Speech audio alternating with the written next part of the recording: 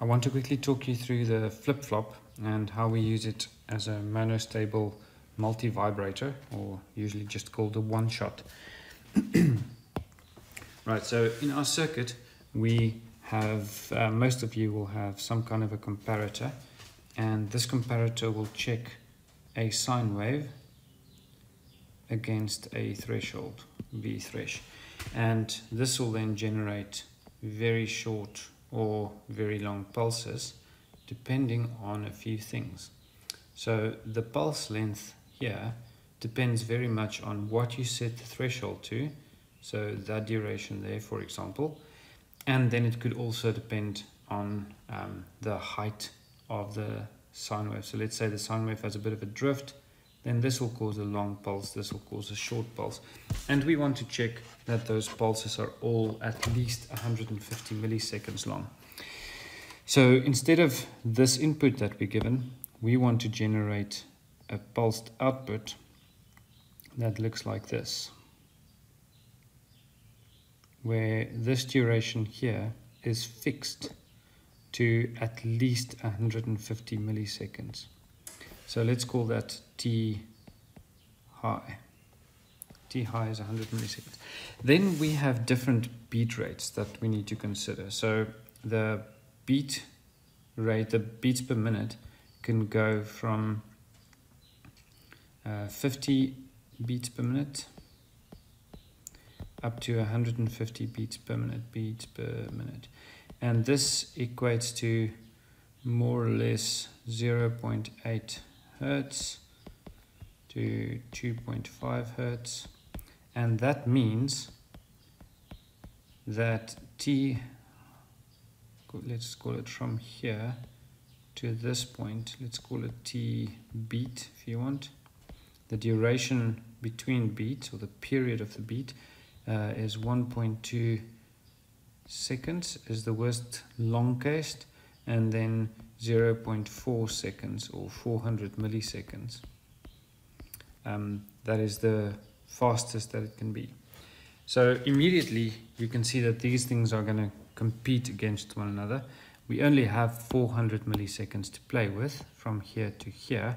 And then we know at least 150 needs to be uh, equal to, or at least 150 needs to be the high part. So you will see we're going to fix this as part of our design. We have to make some choices. But let's now quickly consider this. So I told you the only thing that you have to do this, obviously if you don't want to use it, if you don't need to use it, don't need to use it. But the one thing that you can use to do, do this is to use a D flip-flop.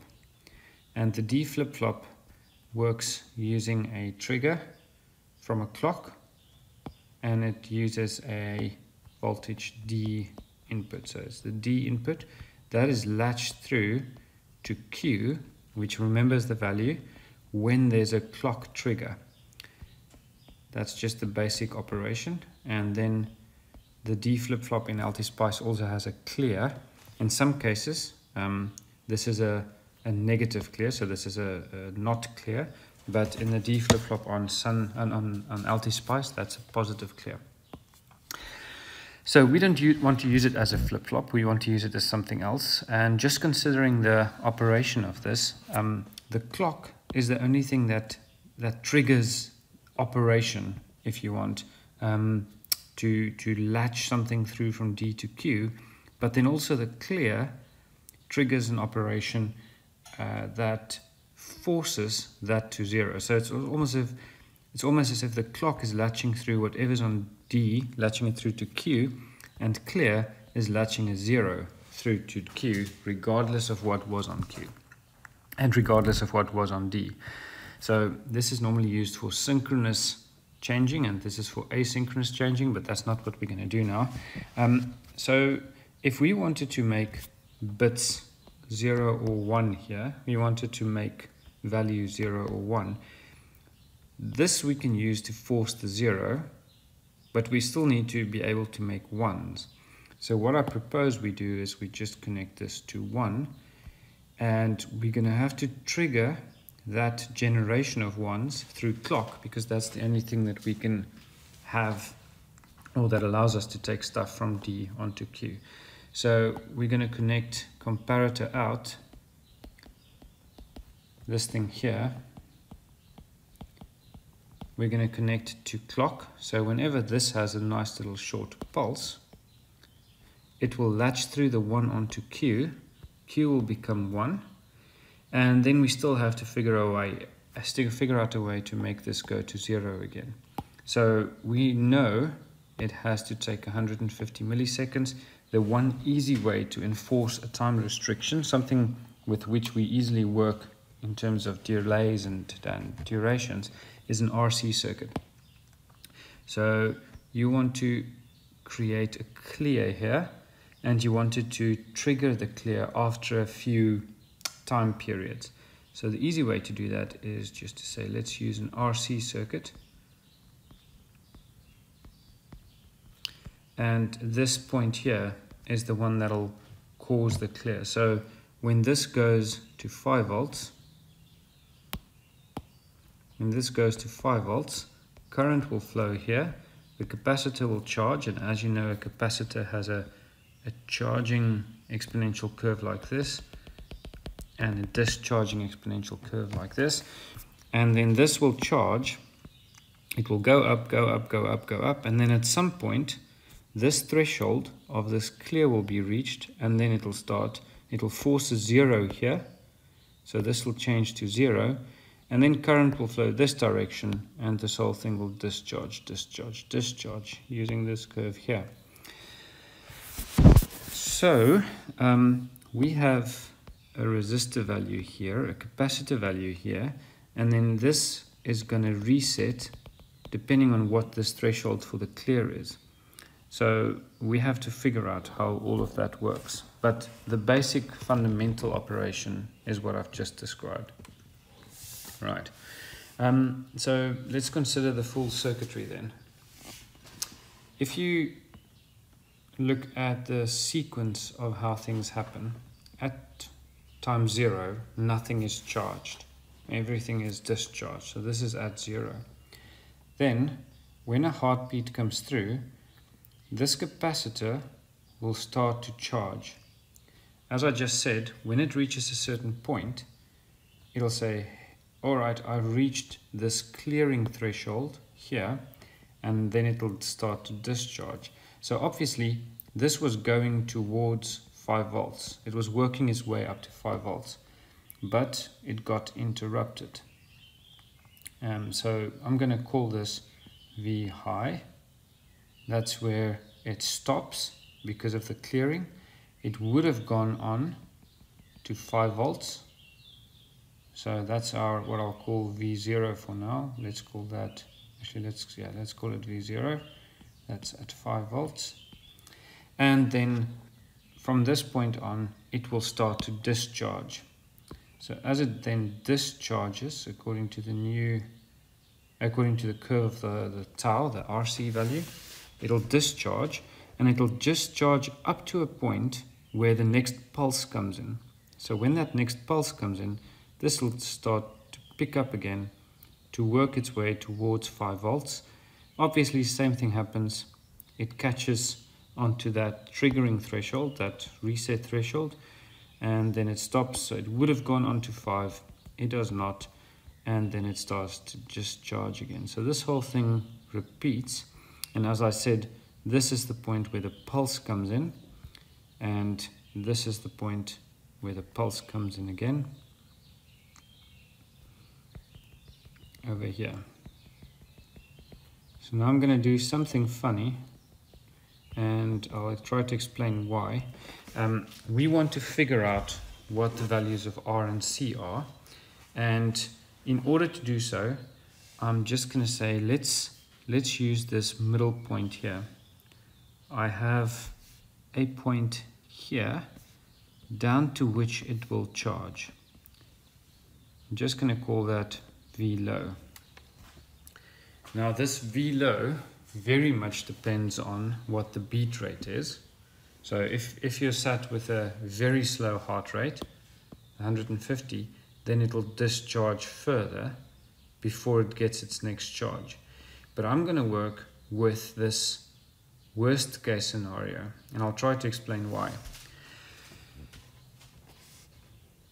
I want to ensure that I have at least 150 milliseconds here. In order to do that, I have to get this thing to discharge as far as possible so that the charging still gives me 150. All right, so I'm just going to say this again. I want to ensure that in the worst case scenario, this thing is able to discharge sufficiently that the charge time, the time that it takes from whatever this low point is till there, the time that it takes to do that is at least 150 milliseconds.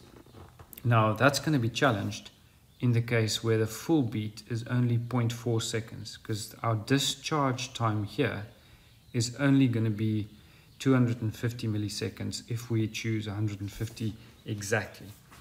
Okay, so this V low is the V low specifically for a beat rate of um, 2.5 hertz or if you want 150 beats per minute or if you write it in terms of a time it's for 400 milliseconds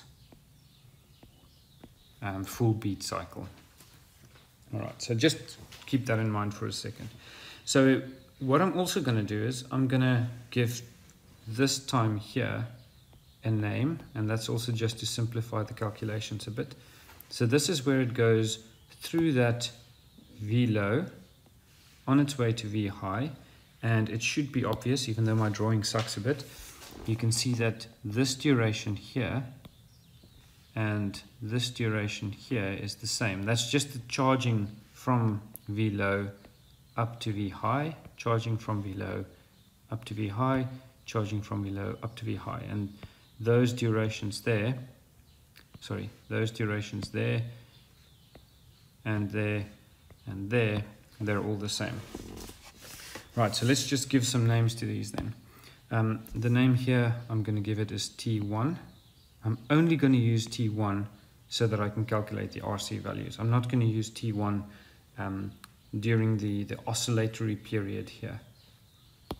That doesn't doesn't include T1. But T1 is the time that it takes to charge from 0 volts up to this, the low, almost like a virtual voltage level, um, which applies when 400 millisecond beats happen. Then I have T high, and uh, that's actually, let me just redraw that. Then I say, all right, the time period between here and here is obviously t high and the time period from here to here is t low. And in this instance the thing that I'm working with this here is the full beat cycle. And that is t beat or 0.4 uh, seconds or 400 milliseconds. All right hopefully you're still all on top of this. 400 milliseconds. Okay, so now I need to figure out what's going on with my, my um, design values. So the first thing to note is this charging curve here and the discharging curve here we have math for. So we can we can write that down. So v the charging is described by v at time t from an initial point is equal to V naught, which is the asymptotic value or where it's going towards, 1 minus e to the minus t over tau. And try to keep in mind tau is equal to RC. So tau is determined by our resistor and our capacitor values. And to charge all the way from here to here, V naught, which is the, the, the objective or the final value, 5 volts, 1 minus e to the minus, and then the time that it takes to get to that is equal to t1 plus th over tau. So that describes this duration here. Then I can also write down the time I can also write down the time that it takes to charge from this point here to this V low point of mine using the same math. So V low is equal to 5, 1 minus e to the minus t1 over tau. Right, so that describes my charging two formulas. I'll make this formula 1 and formula 2. Then I also have a discharging formula. So the discharging is how long it takes to discharge there. So keep in mind, I said the total needs to be 400 milliseconds, but the discharging is described by V at times T is equal to V naught, so that's the, the initial state, times e to the minus time over tau. And if I write that down for this part of the circuit, remember this V naught is not, it's not this one here, it's actually where it starts to charge, discharge from. So the VL is equal to its initial state, VH, times e to the minus t, and in this case it's TL over tau. So now we have a third formula. We also have a formula that says TH plus TL is equal to 400 milliseconds. This is for our worst case condition. So we actually have a fourth formula. So if I just count the number of unknowns, um, this is an unknown. This we can choose. This is an unknown. This is an unknown. And this one is unknown. And we have four formulas. So one, two, three, four values or four unknowns. And we have four formulas so we can calculate it. I also just want to explain something else. Um, if you if you use this method, you don't want to choose 150 milliseconds here. Because you want to be careful, you want to be sure that you reach 150 milliseconds, you probably want to make that 180 or 200 just to give yourself some margin in case some of the capacitors or the resistors are slightly off. So what I would recommend you do, if you can do this, is choose this to be 200 milliseconds, which means that T low is also 200 milliseconds, which essentially take this, takes this formula away and it means that you can um, pretty easily calculate the rest of it. So hopefully that, that helps you a bit um, to try to calculate as you calculate R and C. And um, sorry, I, I, I kind of uh, cheated a bit. I said this is one formula, this is actually two. So for the R and C, you choose one R and then you calculate C, or you choose the C and then you calculate the R.